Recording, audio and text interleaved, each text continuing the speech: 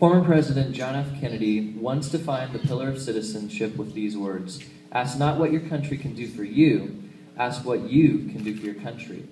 President Kennedy said that great citizens help their country and community. Um, I have a lot of great citizens in my class, but one stood out in a special way. I nominated Chloe Chavez for the Pillar of Citizenship because she is a great citizen of Shafter. She does her share by making Sequoia and her community a better place.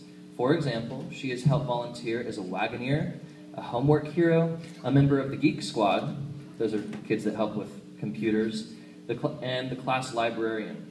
Chloe also obeys laws and rules at school and respects authority. She cooperates and gets involved with community affairs by participating in a recycling group project, which will teach other students the, important, uh, the importance of helping the environment. In fact, Chloe shared that she encouraged her own family to recycle and has just reported having gotten recycling bins for their home. The power of one person making a positive change in their community makes a great citizen. Chloe, you rock. Sincerely, Mr. Tolman.